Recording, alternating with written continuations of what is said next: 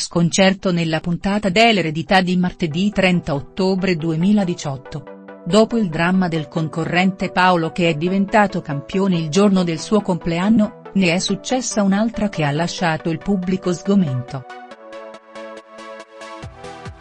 Il povero Paolo, per chi avesse perso la puntata di lunedì 29, è diventato campione il giorno del suo compleanno ed era felicissimo e speranzoso di portarsi a casa il montepremi. Solo che, al gioco finale, non è riuscito a indovinare la parola che unisse le parole mare, moglie, cappello, vita e buona. Così ha visto scomparire sotto i suoi occhi 52.500 euro di montepremi che aveva racimolato. È stato uno shock per tutti, soprattutto per lui che ci aveva sperato parecchio. Ma all'eredità ne vediamo sempre delle belle. E sempre nella puntata del 29 ottobre, il pubblico ha assistito a un momento assurdo. Alla domanda su un capoluogo di provincia irpina, un concorrente ha risposto, Ancona. Punto insomma, la geografia non sembra essere la specialità dei concorrenti del quiz di Rai 1. Nella puntata di martedì 30 ottobre, però, è successo dell'altro. Stavolta la protagonista dell'errore madornale è la concorrente Stefania che ha toppato di brutto su una domanda di storia. Quale popolo dominava sul Messico meridionale nel Cinquecento?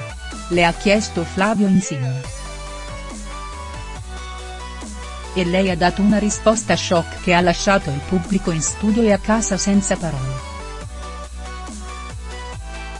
Punto alla domanda di Flavio Insinna, Stefania ha risposto, i cimbri invece erano i molto più conosciuti aztechi. Errore gravissimo. I cimbiri, infatti, erano un popolo vissuto molto ma molto prima nelle regioni prealpine dell'Italia settentrionale. Avrebbe commentato Sgarbi, che per fortuna di Stefania non ha mai condotto l'eredità.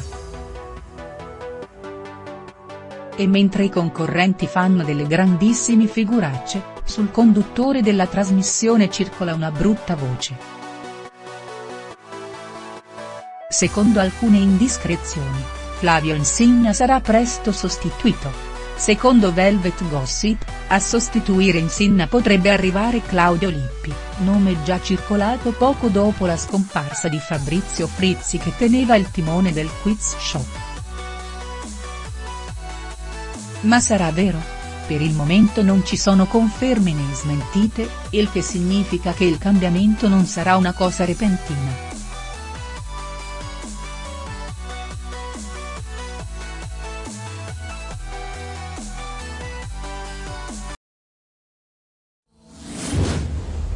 Iscriviti per non perdere le novità, grazie per il like.